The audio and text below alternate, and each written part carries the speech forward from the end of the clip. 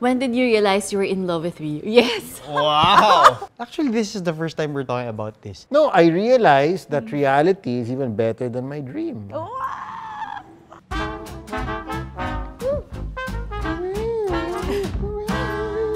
Hug the hug. The pillow.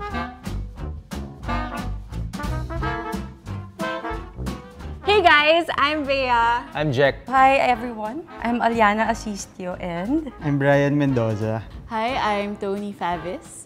And I am Micah Munoz. Hi, my name is Sam YG and this is my new wife. Wala naman akong old wife, pero my new wife, Essa Gogna. and uh, he is my husband. She's my wife. your bedroom is it should be a sacred space it should be a space where you can uh, let your guard down And it has to be very, very comfortable because for me, the bedroom is where I can just relax and be totally myself. Especially for us, we're always out and about doing training because we're into triathlon. As much sleep as we can get, we need it. So after a long day, it's very important either individually or together for us na we have a space where we can be comfortable, where we can rest. Yeah. Tapos kasama mo yung, ah, yung taong pinaka-importante sa buhay mo, di ba?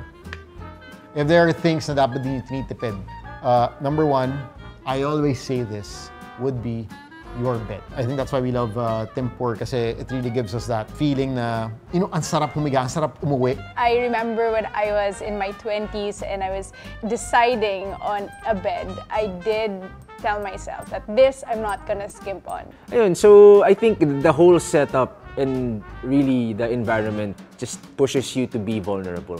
Um, today we're gonna be playing a, a game of uh, wood block stack. jenga it's called jenga Yeah, wait, I'm not yet done with my oh spiel. my god But if you're a throwback kind of guy, this is called Uno Stack. oh my god okay sige I'm Ano just pa gonna- Tama. No, Look what kasi I girls was do. going to Look what it- girls do. May yellow sa ibaba, pero hindi. They want to go to the I one was that's gonna make it under. complicated for you, That not for me. why Question is, who takes up the bed more? Definitely, all the way it's Sam. Definitely her. Him. Because I'm just bigger. You always go around. It, usually, you take up the bed just because like you're sprawled out. Pero siya hindi. He takes up the space because he he likes to like nuzzle in. So, yung ending, nasa pinaka-edge na ako kasi nakaganon siya the entire time. Kung ganito yung bed, ako ganito ako matulog siya, ganyan. Pipicturean ko ah. Minsan, I'm just at one side and you were like all over. That's me looking for you kasi. So I, I really like to cuddle up and hug her because I get I get to relax for some reason. It's very soothing for me. Kiligin ka naman.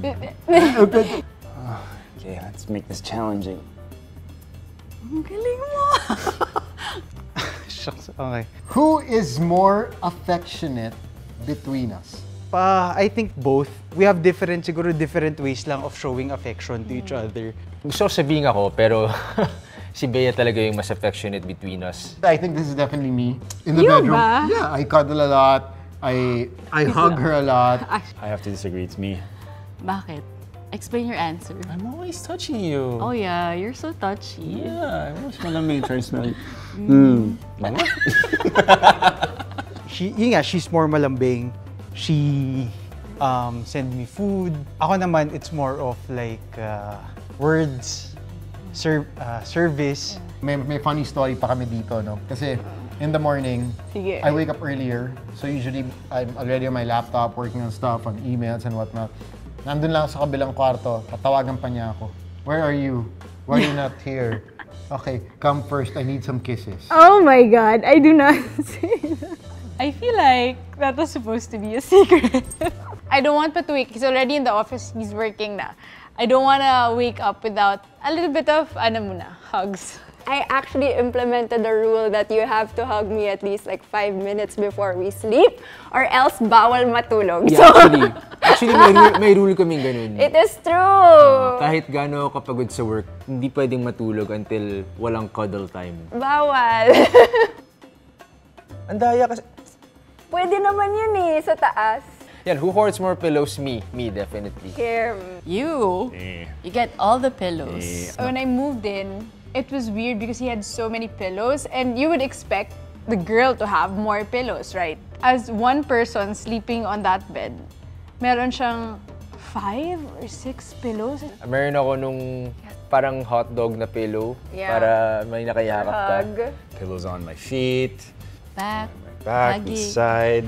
Yan. And then yun nga, ito, para malamig lagi. Beside him. Oo. I remember my very first uh, Tempur pillow. Whenever I walked into the Tempur showroom, when I was uh, uh, in my 20s as well, which was like three years ago. Sabi ko, one day, hindi lang pillow bibiling ko. Buong Tempur mattress. You know, it, it made such a big difference uh, when it comes to my sleep. Makes me sleep so well at night. In effect, I'm so recharged in the morning. And, and as you can tell, I need my energy with my line of work, with everything I do. But before, I felt alone and lonely till you came along. So I needed pillows. Have you, eh, uy, gusto ko itong tanong. Have you ever dreamt of me? Actually, pwede ko ito sagutin habang binubunot na para mas maangas. Didn't answer it naman eh. every night. Oo. Have you ever dreamt of me? Yeah, kissing another girl. Talaga? You want me to say who? Wag na. I have dreamt of Sam and believe it or not, makulit pa rin siya sa dream ko. As in, and then I usually wake up pagod. Or I wake up mad at him. Kasi may ginawa siya sa dream ko. Yun lang yun. Ikaw, have you ever dreamt of me? Of course.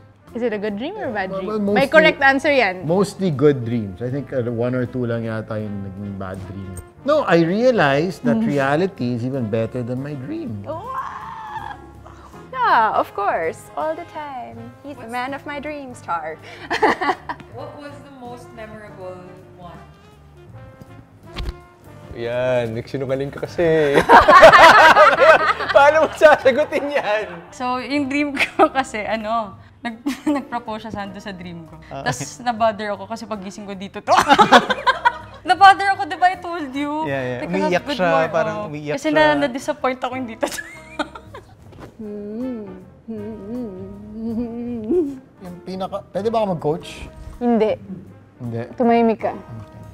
There's an actual inside look at our relationship. Who is pickier when it comes to sleeping arrangements? Ako. I guess me. Me because... Thank you for being honest. Parang madami din akong gusto. Gusto ko yung pillow ko. It has to be a certain position. And I have to be lying down a certain way, you know, para ergonomic talaga. It's good for your back. Kasi magkatabi kami sa, kunwari sa sofa. Unan-unan, tas ako. So, unan muna yun. Yan nga, di ba? Yeah, yeah, yeah, Siya, pelo, pelo, tsaka ako. Yeah, yeah. I, I'm so picky, I actually have a side sa bed.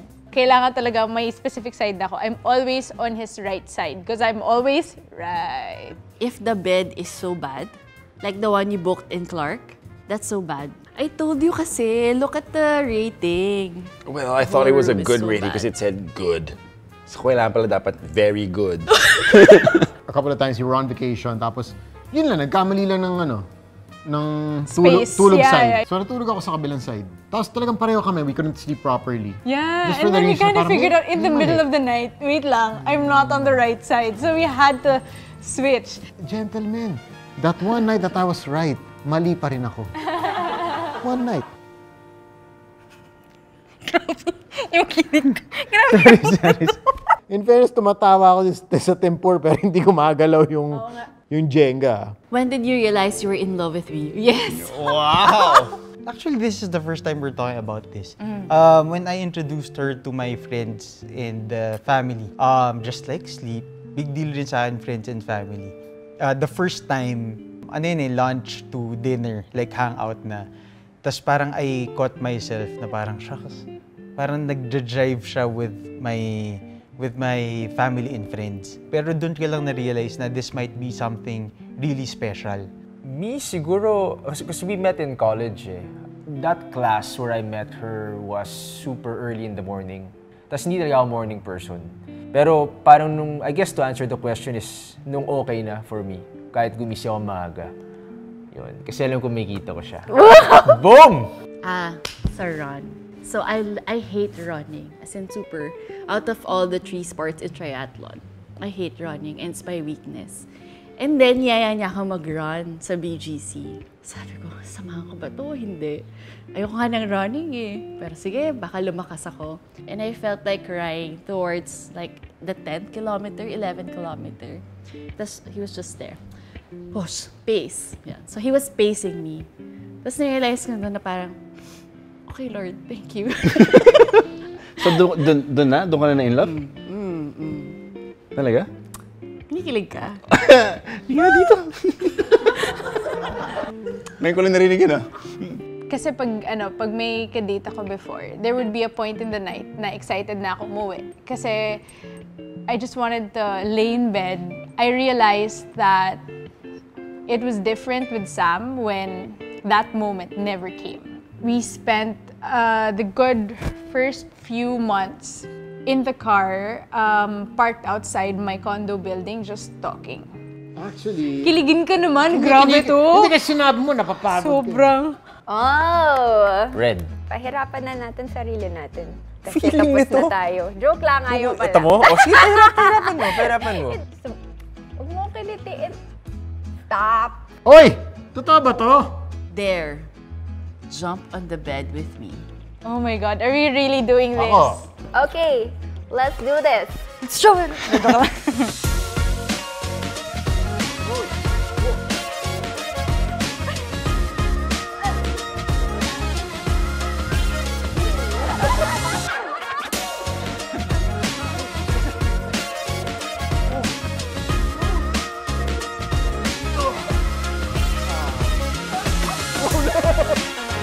Ladies and gentlemen, this is the Tempur Mattress Wine Glass Challenge. Naka-ready na mga wine glass? Naka-ready na si Madam? Let's go! Sige nga! Oh, boom! Okay, three, two, one. Beep! Oh! Oh! Oh! Wow! Oh my gosh. um, I like this bed. I like this bed. Don't jump on me.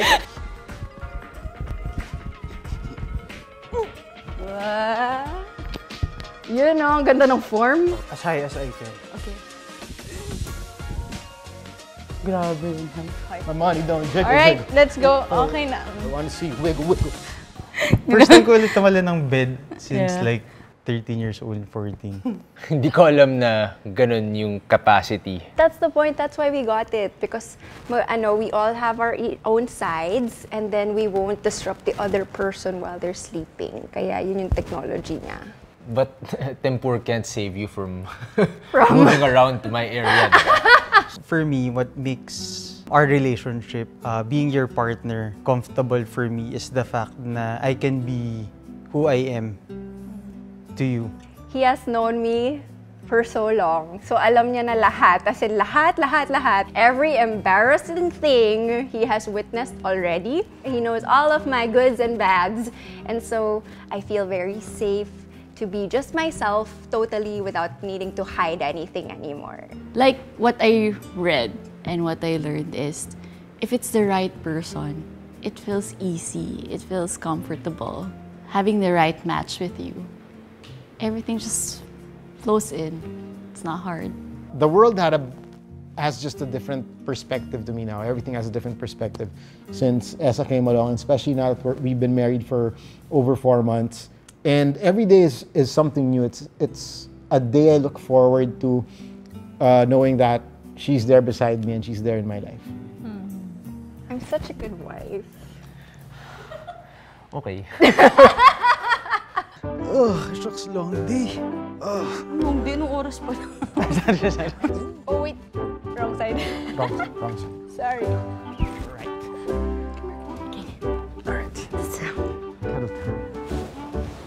Good night. Have a good night. Love you. Love you too.